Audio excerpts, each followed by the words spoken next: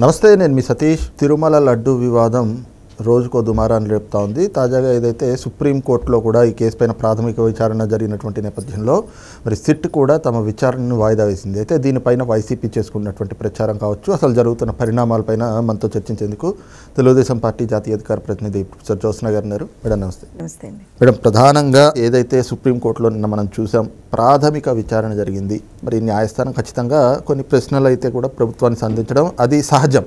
అయితే దాని తోటి ఏదో విచారణ ముగిసిపోయి ఒక తీర్పు బయటకు వచ్చినట్లుగా వైసీపీ చేసుకుంటున్నటువంటి ప్రచారాన్ని ఎలా చూడాలి? అంటే ప్రభుత్వానికి ఇది ఒక చెంపపెట్టు చంద్రబాబు నాయుడుకి దిమ్మ తిరిగిపోయింది సుప్రీంకోర్టు ఇవి చూసి అని చెప్పేసి అని ఆ ప్రచారాన్ని ఎలా చూడాలి? దాంతోపాటు ఇవాళ ఒక సోషల్ మీడియాలో వాళ్ళు ఒక పాతకు సంబంధించినటువంటి టెండర్ దాన్ని కూడా సర్క్యులేట్ చేస్తూ దాని మీద కొన్ని ప్రశ్నలు ప్రభుత్వానికి సంధిస్తున్నారు. ఇది ప్రభుత్వం తప్పిదామని ఏదైతే రెండు వేల పదమూడు నుంచి రెండు వేల ఇరవై నాలుగు వరకు ఆవు నెయ్యి కొనుగోలుకు సంబంధించి మరి ఆనాడు బిట్ చేసిన ప్రైసులో రెండు వేల పద పద్నాలుగులోనేమో మూడు వందల ఆరు రూపాయలు రెండు వేల పదిహేనులో రెండు వందల డెబ్బై ఆరు రూపాయలు కొన్నారు. మరి అప్పుడు కల్తీ జరగలేదా అని.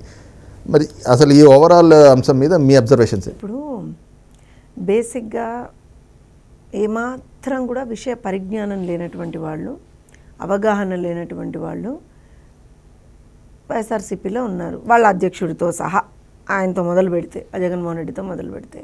ఇప్పుడు ఇష్యూ ఏంటి అని అంటే తొందరపడి ఒక కోయిల ముందే కూసింది అని ఇట్లాంటి వాళ్ళని చూసే అన్నారు. తెలుసా మీకు?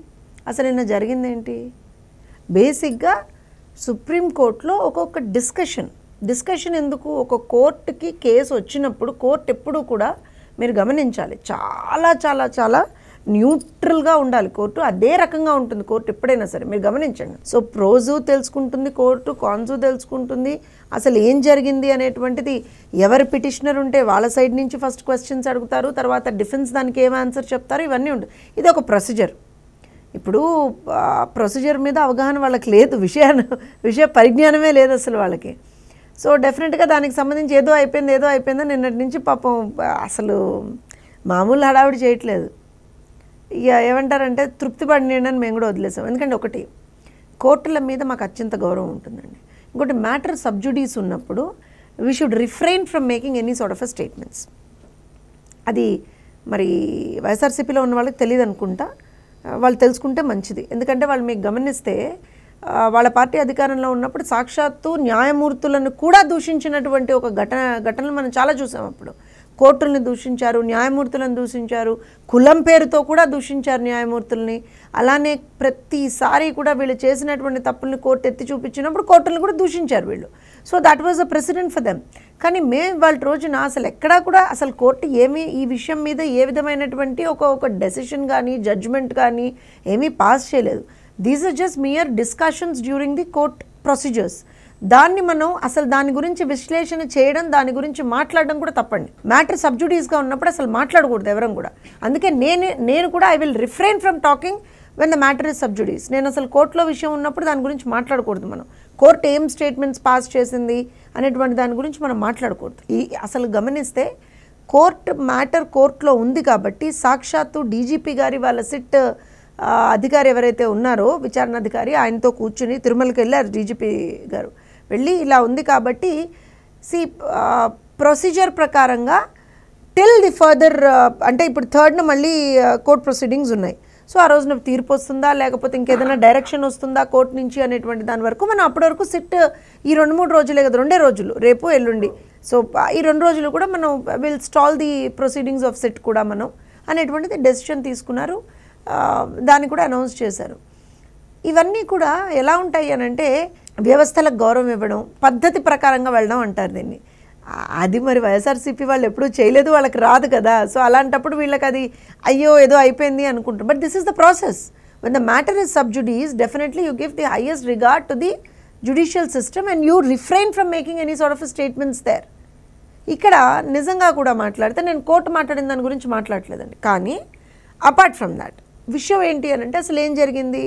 వాస్తవానికి కూడా కల్తీ జరిగింది. అందరికీ తెలుసు ఎనిమిది ట్యాంకర్లు వచ్చాయి. అందులో నాలుగు వాడేశారు. నాలుగు మిగిలిన నాలుగు ట్యాంకర్లని టెస్టింగ్కి పంపిస్తే అందులో కల్తీ ఉందని వచ్చింది. అయిపోయింది. సో ద ప్రాసెస్ ఇప్పుడు ఏంటి అని అంటే దానికి సంబంధించినటువంటి విచారణ జరుగుతుంది. Court will take its own process అక్కడ ఉంటుంది. ఇక్కడ ఒక ఒక క్వశ్చన్ ఏదైతే రేజ్ అయిందో దాని మీద ఒక ఆన్సర్ అంటే బేసిక్గా కోర్టుకి ఆన్సర్ ఇవ్వట్లేదు జస్ట్ బికాజ్ పబ్లిక్ మాధ్యమాల్లో కూడా వచ్చింది కాబట్టి చంద్రబాబు నాయుడు గారు ఎందుకు మాట్లాడారు అంటే ఇది చాలా చాలా చాలా సెన్సిటివ్ అంశము. ప్రజల మనోభావాలకు సంబంధించినటువంటి అంశము దేవదేవుడికి సంబంధించినటువంటి అంశం. సో ఖచ్చితంగా అలాంటిది ఐడెంటిఫై అయినప్పుడు ప్రజలకి ఇన్ఫామ్ చేయాల్సినటువంటి బాధ్యత కూడా ముఖ్యమంత్రి గారి మీద ఉంది. సో దాన్ని ఆయన ఇమ్మీడియట్గా ఎందుకు చేయలేదనేటువంటి మాట కూడా వచ్చినప్పుడు మేము ఇదివరకు కూడా క్లారిఫై చేస్తున్నామండి పబ్లిక్ మాధ్యమాల్లో. ఏంటంటే ఒక ఇష్యూ వచ్చినప్పుడు దాన్ని మొత్తం అంటే విజిలెన్స్ ఎంక్వైరీ కరెక్ట్గా ఆ రిపోర్టు ఇవన్నీ తెప్పించుకొని ఫర్దర్గా ఒక ఎక్స్పర్ట్ ప్యానల్ని వాళ్ళు ఎక్స్పర్ట్ కమిటీని కూడా ఫామ్ చేశారండి ఇమీడియట్గా. ఎప్పుడైతే జూలైలో ఇది ఐడెంటిఫై అయిన తర్వాత. సో వాటన్నిటి further due course of యాక్షన్లో when everything was as it has happened అనేటువంటి ఒక ఒక నిర్ధారణకు వచ్చిన తరువాతే సాక్షాత్తు గౌరవనీయులైనటువంటి ముఖ్యమంత్రి గారు ప్రజల దృష్టిలో ఇలా ఇది జరిగింది బట్ మేము ఇమ్మీడియట్గా దాన్ని రెక్టిఫై చేశాము. ప్యూరిఫికేషన్ మెజర్ మెజర్స్ తీసుకుంటే సంప్రోక్షణ ఏదైతే చేసామో అది చేస్తున్నాము. అలానే ఫర్దర్గా ఇలాంటివి జరగకుండా ఒక్కొక్క మెజర్స్ తీసుకుంటున్నాము. ఇవన్నీ కూడా చెప్పున్నారు. So we are going by the process అందులో పెద్దగా ఏమంటారంటే వాళ్ళు ఓ ఎగిరి గంతేసేంత అక్కడేం లేదు. సరే ఎనీవేస్ అది వాళ్ళ అవివేకం అనుకుంటాను. వాళ్ళకి ఎప్పుడు కూడా ఇంతే ఉంటుంది ఇక్కడ గుజ్జు. సో దాని ప్రకారంగానే వాళ్ళు బిహేవ్ చేస్తారు.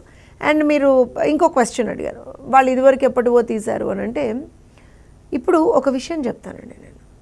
నెయ్యి ధర అనేటువంటిది ఒకటి నెయ్యి ఏ కంపెనీల వచ్చింది ఏ కంపెనీల నుంచి వచ్చింది అనేటువంటిది ఒకటి అసలు టెండర్లో టెండర్ కండిషన్స్ ఎలిజిబిలిటీ క్రైటీరియన్ ఏదైతే ఉంటుందో దాంట్లో ఏమన్నా మార్పులు జరిగాయా అనేటువంటిది ఒకటి. అంటే రివర్స్ టెండరింగ్ ఏదైతే వీళ్ళు చేశారు. ఇప్పుడు రివర్స్ టెండరింగ్ రివర్స్ టెండరింగ్ అని చెప్పి బు- ఓ భుజాలు ఎగరేసుకుని తిరిగాడు కదా ఒక్కొక్కడును ఐదు సంవత్సరాల్లో. ఏం చేశారు వీళ్ళు? పోలవరంలో రివర్స్ టెండరింగ్ చేసామన్నారు నాశనం చేశారు. ఐదు సంవత్సరాల పాటు పోలవరం పేరు మీద నాశనం చేశారు. చేశారా లేదా? కనీసం ఒక్క ఇంచు కూడా ముందరికి వెళ్ళా పోలవరం. ఏడు వందల కోట్లు ఇన్ని కోట్లు అన్ని కోట్లు ఇంత అవినీతి అన్నారు. రూపాయి అవినీతిని ప్రూవ్ చేయలేకపోయారు. బికాస్ అక్కడ ఏం జరగలేదు మా హయాంలో కాబట్టి. ఏ విధమైనటువంటి అవినీతి మా హయాంలో జరగలేదు కాబట్టి. అమరావతిలో అసలు ఇంటై ఇన్సైడర్ ట్రేడింగ్ జరిగిందన్నారు ఇంకోటి జరిగిందన్నారు. అసలు నాలుగు వేల ఎకరాలకు సంబంధించినటువంటి భూములన్నీ కూడా కొనుగోలు చేశారు. కొనుగోలు చేస్తారని చెప్పారు. ఇంకోటి అక్కడ అసలు వేల కోట్ల అవినీతి జరిగిందని చెప్పారు. ఇంత చెప్పారు. ఏముంది అక్కడ? They couldn't prove a single thing because nothing has happen there అలానే ఇక్కడ కూడా ఈవెన్ అంటే దేవదేవుడికి సంబంధించిన ప్రసాదం విషయంలో కూడా వాళ్ళు ఎలా ఎందుకు చేశారు అనేటువంటిది వాళ్ళ మన మనస్సాక్షికి నేను వదిలేస్తున్నా. ఎందుకనంటే తిట్టి తిట్టి కూడా మాకు కూడా ఒక రకమైనటువంటి విసుగొచ్చేస్తుందండి. ఎన్ని వాటిల మీద తిట్టమండి? ప్రతిదీ తప్పే. ఆఖరికి దేవుణ్ణి కూడా వదలవా? ఇవాళ రాజకీయం చేసింది ఎవరు? వాళ్ళు కదా. అసలు మేము దీన్ని రాజకీయంగా తీసుకోలేదు. ముఖ్యమంత్రి గారు ఖచ్చితంగా ప్రజలకు చెప్పాలి బాధ్యత. రాజకీయం చెయ్యాలి అనుకుంటే ఏ రోజున బయటపడ్డదో ఆ రోజున ఒక్కొక్కరిని ఉత్తికి అవతల వారేసేవాళ్ళం. కానీ మేము రాజకీయం చేయలేదు. ఎందుకంటే మాకు అవసరం లేదు.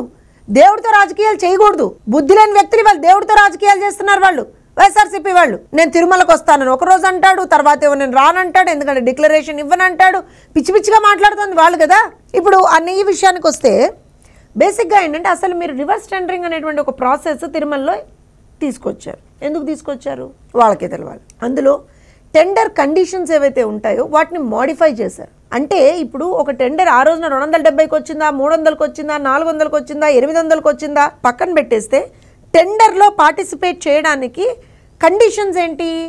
నాలుగు లక్షల లీటర్ల ప్రొక్యూర్మెంట్ ఉండాలి పాలు ఆవు పాలు. అలానే రెండు వందల యాభై కోట్ల మినిమం యాన్యువల్ టర్న్ ఉండాలి. అలానే ఆ పర్టిక్యులర్ ఇండస్ట్రీలో వాళ్ళు మూడు సంవత్సరాల నుంచి ఉండాలి. అవి చేస్తూ ఉండాలి. ప్రాసెసింగ్ కెపాసిటీ అనేది ఒక ఎనిమిది టన్నులు పన్నెండు టన్నులు ఈ రకంగా ఉండాలి. ఇవన్నీ కదా కండిషన్స్ అంటే ఈ కండిషన్స్ నేను ఇప్పుడు మీకు చెప్పినవి చూస్తే బేసిక్గా అది క్వాలిటీ ఆఫ్ ద లడ్డూని మెయింటైన్ చేసే కండిషన్స్ ఇవన్నీ. వీళ్ళు వచ్చిన తర్వాత ఆ కండిషన్స్ ఎందుకు తీస్తారు? డైల్యూట్ చేశారు తీస్తారు అసలు. నాలుగు లక్షల లీటర్ల పాలు అనేది తీస్తారు. ప్రాసెసింగ్ కెపాసిటీ అనే దాన్ని తగ్గించేశారు. రెండు వందల యాభై కోట్ల అనేటువంటి యాన్యువల్ టర్న్ ఓవర్ని తగ్గించేశారు. మూడు సంవత్సరాల నుంచి వాళ్ళు ఉండాలి అనేటువంటి కండిషన్ తగ్గి ఎందుకు చేశారు దాని వల్ల కదా ఇవాళ నష్టం వచ్చింది. ఇప్పుడు టెండర్ కండిషన్స్ మోడిఫికేషన్ మీరు ఎందుకు చేశారు? మీకు అనునయంగా ఉన్నటువంటి కొన్ని కంపెనీలకు బెనిఫిట్ చేసుకోవడానికి మీరు చేశారు. అండ్ ఇంకోటి అప్పటి పరిస్థితులలో అప్పటి రేట్లు ఎంత ఉన్నాయి? రెండు వేల పద్నాలుగు పదిహేనులో ఇప్పుడు రేట్లు ఎంత ఉన్నాయి అనేటువంటిది కూడా మనందరికీ తెలుసు.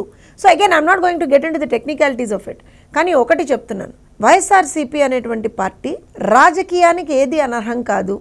శవాలు అనర్హం కాదు? హత్య రాజకీయాలకి అనర్హం మేము మేము ఇచ్చేస్తాం. అలానే దేవుడు కూడా రాజకీయం చేసేస్తాం దేవుడి పేరు మీద కూడా. అనేది మాత్రమే వాళ్ళ మోటు. మేమైతే ఒకటే చెప్తున్నాం. అపచారం జరిగింది. అపచారాన్ని మేము వెను వెంటనే ఐడెంటిఫై చేసినటువంటి వెను వెంటనే సంప్రోక్షణ చేసాం ఇమ్మీడియట్గా ఇన్వెస్టిగేషన్ చేస్తున్నాం. తర్వాత దానికి సంబంధించినటువంటి దిద్దుబాటు చర్యలు అంటారు వాటిని. అవన్నీ కూడా చేసేసాం. ఇప్పుడు గుంజుకొని గింజుకొని అయ్యి బాబోయ్ మాకు ఇది అయిపోయింది అది అయిపోయింది మేమేం చేస్తాం? దేవుడితో పెట్టుకున్నావు మట్టి కొట్టుకు పోతావు ఏముంది అందులో?